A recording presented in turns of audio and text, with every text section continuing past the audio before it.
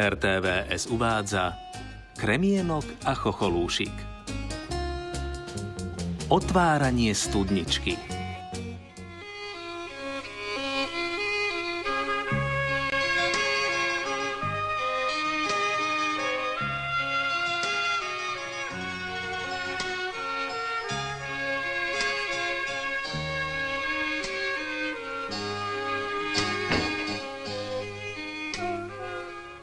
Raz na úsvite, celkom z jary, musel ísť chocholúšik po vodu k studničke.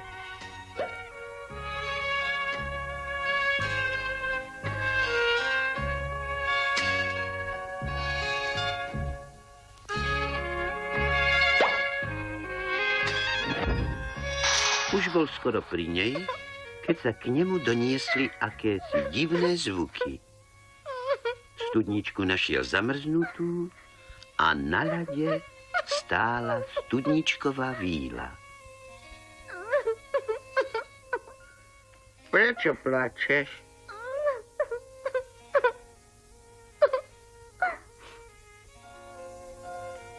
Víla zaklopká na ľad a žaluje sa. Nemôžem sa dostať domov. Len na chvíľku som si odbehla a mráz mi zatiaľ zamkol studničku ľadovým kľúčom. Hmm, hmm. Odstúp trošku na bok. Možno sa to podarí mne, veď mám viac sily. Hm, tak to nepôjde. Vieš čo? Počkaj tu na mňa a ja si zabehnem domov po sekierku. Dobre, Povedala studničková víla a čakala.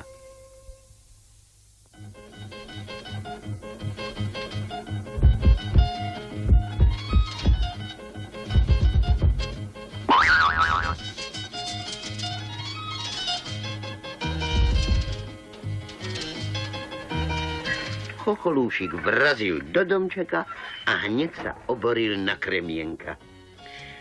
Studničková víla si môže košielku preplakať do poslednej nitky a ty takto. A čo horšie, studničková víla môže prechladnúť a čo potom? Začal hľadať sekierku. Hop, ozval sa kremienok. To ja viem o niečom lepšom, čím sa otvárajú studničky. A hneď sa dal do toho.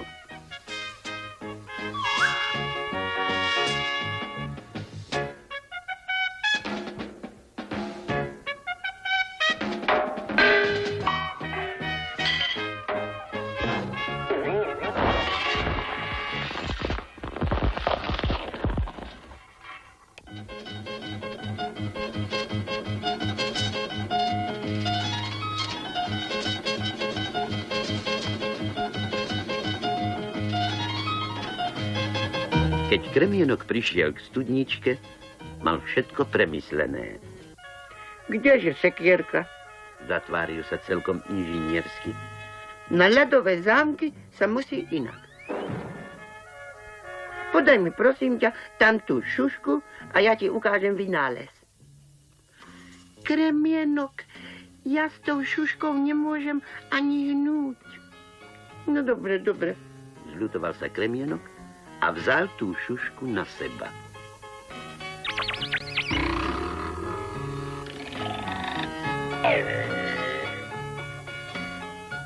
No, no, no, no, no. To nie je len tak. Takú vážnu vec si musí človek vážne premyslieť.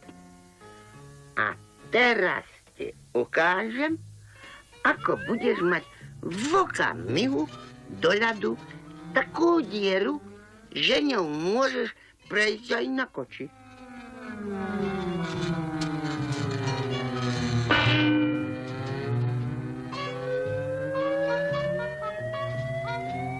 Čo je?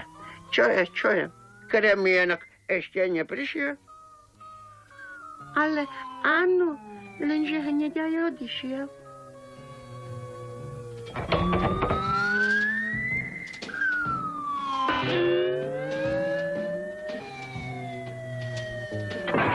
Keď sa kremienok vynoril z vody, vyplul žubrienku a hovorí.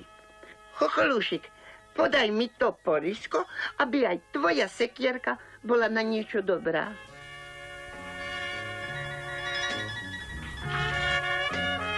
Víla urobila krásnu poklonu a zahlaholila. Ďakujem. Za málo, za málo. Odpovedal kremienok i chocholúšik. Kde si som stratil čiapku? Ale to nič. Mohlo sa to skončiť aj horšie. Keď sa vrátili domov, chocholúšik chcel zakúriť, aby sa kremienok mohol poriadne usušiť.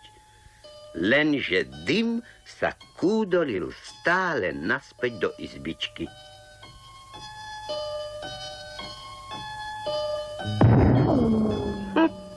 Zase bude dačo s komínom. hovorí kremienok. A veru, že bolo. Na komíne sedela tá kremienková čiapka, ktorá sa vrátila domov po vetrí.